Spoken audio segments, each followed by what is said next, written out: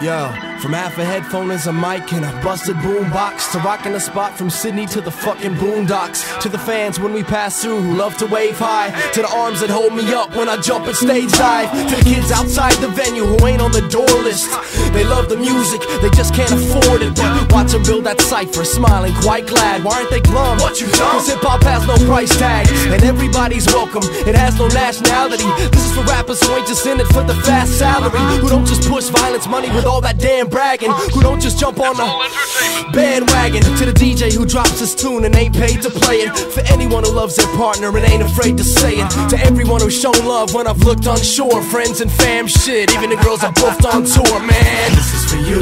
You're the reason I wrote this. You're the reason I stand in the rain and get my clothes wet.